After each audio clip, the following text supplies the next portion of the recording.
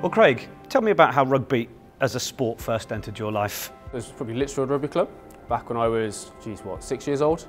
Um, dragged out the house on a Sunday by my parents. Um, raining, obviously.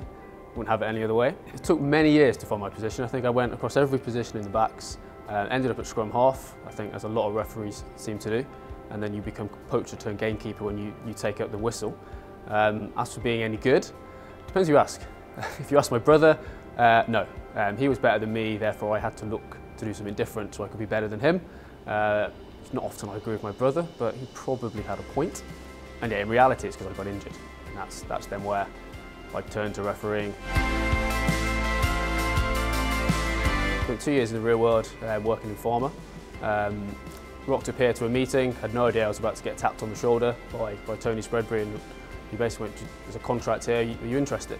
Um, I probably said yes far too quickly, um, especially I hadn't told my mum at that point. Parents actually were quite sceptical to start with. Um, they'd see me go through university, get a job in pharmaceutical science and like, you're going to throw that all away. Um, but it boiled down to the fact that look, it's, it's a hobby turned a job. You, would regret your, that decision if you were to turn it down.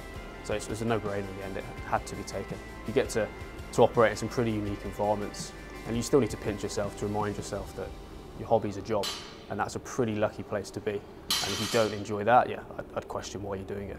And in the last few years, you've had the opportunity to referee over the Rainbow Laces weekends, um, which probably resonate with you given the relevance it has on a personal level. The Rainbow Laces campaign sort of, it brings back into the headlines stories from like Nigel Owens or Sam Stanley, um, sort of their coming out stories, which while I was in the closet, um, were a source of support, comfort. Like it made it really clear to me while I was struggling to accept who I was that you could be a part of elite sport. It's not about who you love, it's about how good you are.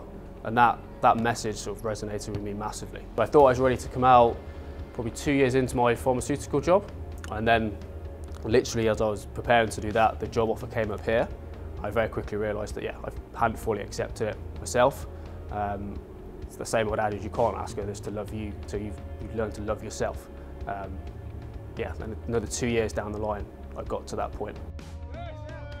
I came out just before I went to Manchester for the under-20s uh, World Championship. So I told friends and family before I headed, headed there. Had a really successful tournament actually. And then in terms of telling the, the refs here and the rest of my friends, it's 6 a.m. in an airport before I'm about to go to Greece on a family holiday. I pinged a WhatsApp message out, turned the phone off for about eight hours. After a few too many wines in Greece, turned it back on and yeah, the reaction was was very positive, to, to say the least. I certainly forgot personally how much effort it was to keep up that false pretense. You spend a lot of energy like, what story have I told to this person? What's the name of this imaginary girlfriend that I'm seeing? And then when that, when that weight is lifted, yeah, you can be truly you. You can be authentically you. You can enjoy life and yeah, the, that energy that I spent living a lie can now be reinvested into just being me and that, that was truly liberating. My personal experiences, it's, yeah, it's been really positive. People either, it's not an issue, or they're, they're overly supportive, take an interest, want to ask how they can help or support you in, in, in, whatever way. And that's both here at, here at Twickenham and across the pro game, but also the community game, which I think the, the key with the Rainbow Laces campaign, it's not just a, a pro end campaign, it's across the whole game. I think it's good to put that focus on it, that rugby is a, a sport for everyone, irrespective of who you love, gender, religion, it, all it really cares about is you enjoying yourself and expressing yourself in the medium of rugby. Um, so yeah, I think there is a real, a real relevance to it. And I don't think we can be complacent. Um, things have moved on massively, but that doesn't mean they, they can't be made better. I understand how powerful other people's stories were when I was in the closet. So if I can, through talking, opening up more, help just one person in that position I was in those years ago, then that's a positive from my perspective.